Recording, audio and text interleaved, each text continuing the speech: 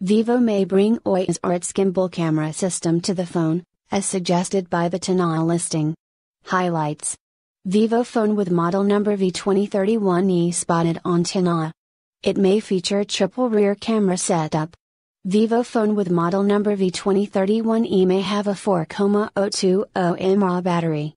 Vivo seems to have a new smartphone in the pipeline for the Chinese market. Carrying model number V2031E, a Vivo phone has been spotted on Chinese regulatory body TENAA's website with almost all key specifications including cameras, design, RAM and storage options, and more. There is no name associated with this upcoming Vivo phone at the moment and the company has not confirmed anything either. The Vivo phone with model number V2031E is listed to have a triple rear camera setup and a blue color option. The TENAA listing of the Vivo smartphone with model number V2031E states that the phone runs Android 10. It features a 6.44 inch Full HD Plus 1080 by 2400 pixels, AMOLED display. The phone is powered by an unnamed octa-core processor, clocked at 2.4 GHz. The listing also mentions 6 GB and 8 GB RAM options with 128 GB and 256 GB storage options. The exact configurations are currently unclear.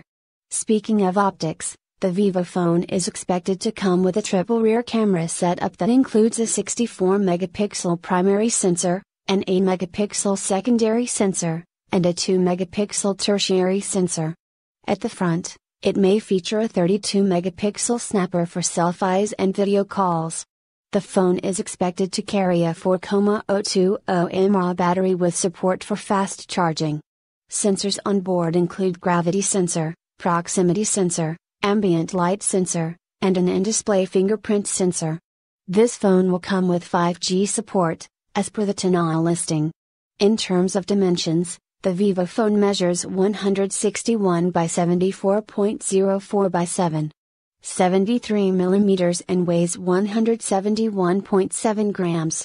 Talking about the design, the images on the TENAA listing show a blue back panel with the camera module placed on the left corner. The primary sensor seems to be bigger in size than the other two, suggesting the inclusion of optical image stabilization, OIS. It may feature Vivo's gimbal camera system as seen on Vivo X51 5G. The front camera cannot be seen clearly. So, it's difficult to make out if there will be a hole punch design or notch. The power and volume buttons are located on the right side. Thank you. Audio Jungle.